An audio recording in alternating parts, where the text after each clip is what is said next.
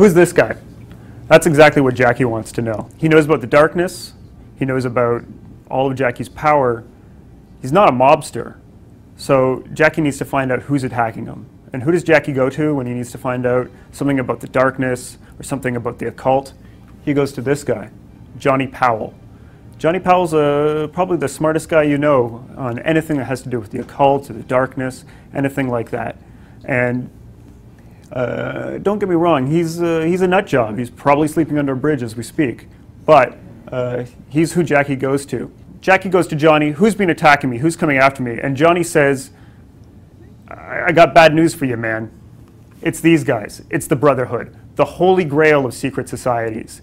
They've been around for thousands of years and they used to control the darkness, but they've lost it. And ever since then, they wanted to get it back. We do have a good progression to the enemies that we introduce, and they all kind of force different tactics.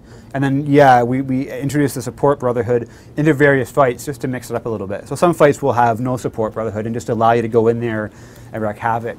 But in other fights, we will get different support brotherhood in different positions that really force you to, to sort of deal with the situation and, and force you to tactics.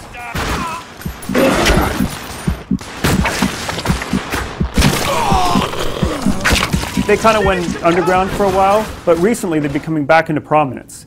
Still not showing up in, in the news or anything, but they've been involved in all sorts of organized crime, human smuggling, drug dealing, weapons dealing. And why do they get involved in that? Because anything that exacts a human toll uh, creates human suffering, and that creates dark essence. But you saw I was getting essence and I was killing guys, and that feeds into that system which then controls you know how I'm going to play through, and, and I, I, can sort of progress based on my play, play style and my strategies, and then that will then impact how you fight through these, these encounters.